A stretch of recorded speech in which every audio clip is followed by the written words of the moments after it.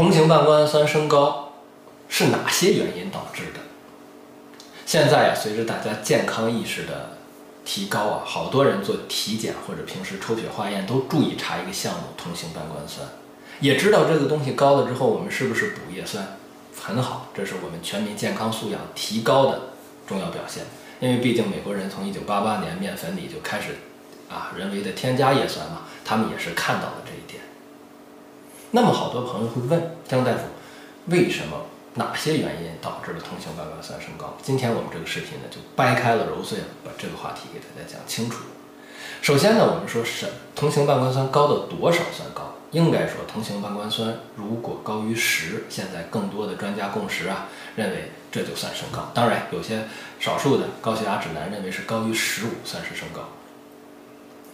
二零二零年九月份呢，我们中国有一份最新的高同型半胱氨酸血症的专家共识，就指出，把这种高于十的同型半胱氨酸呢，认为是升高，分为三种。第一种是轻度升高，轻度升高是十到十五之间；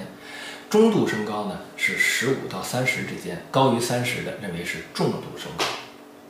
而同型半胱氨酸如果长期高，不去控制它，它会增加一些心脑血管疾病的发生风险，比如说脑梗塞。哎，这是好多朋友都知道的。所以说呢，我们好多人通过补充叶酸来降低它，就是为了降低这些疾病、心脑血管疾病、某些代谢类疾病啊这个发生几率。那么好多朋友会问，说什么原因导致它升高？张大夫，我特别想听听你说说到底是啥原因。我总结在咱们中国人当中啊，大概四点啊，当然原因很多。我们先说最常见的四点。第一点是饮食，我们中国人呀，煎炒烹炸。过度烹饪导致新鲜食材里面的叶酸丢失太多，长期叶酸不足就导致同型半胱氨酸升高，这是我们饮食文化带来它升高的一个重要原因。除此之外，第二点原因就是基因代谢这个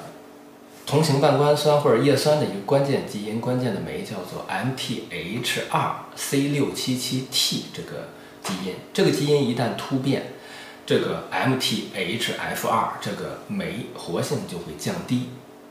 这个活性降低呢，它就容易导致同型半胱氨酸升高。一般来说，在我们普通人当中啊，查这个基因的话，CC 型是正常，CT 型或者 TT 型就是异常。往往呢，呃，这种异常的基因突变就带来同型半胱酸半胱氨酸升高。一般我在临床上要看到那种同型半胱氨酸特别高、重度升高的人，我建议他查查这个基因。好多人最后就是不是 CT 型就是 TT 型。T T 型最坏，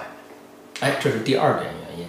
基因。第三点原因呢，就是衰老和性别。一般来说啊，随着我们年龄增大，同型半胱氨酸就升高，哎，这是我们身体在衰老导致的。还有呢，男性高于女性，而女性绝经后高于绝经前，这都是它具体的一些我们呃年龄啊、衰老啊和性别之间的差别。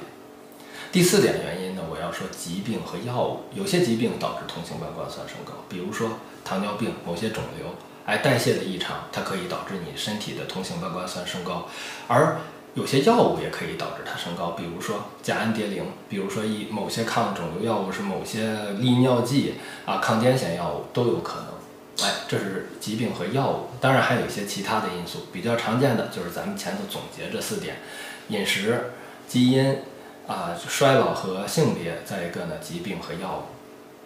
说完这些呢，好多朋友说怎么治？实质上，张大夫多次科普过，对于绝大多数人呢，呃，咱们现在大部分的指南和专家共识推荐的是零点八毫克的叶酸，这个一天一次，安全有效。对于一些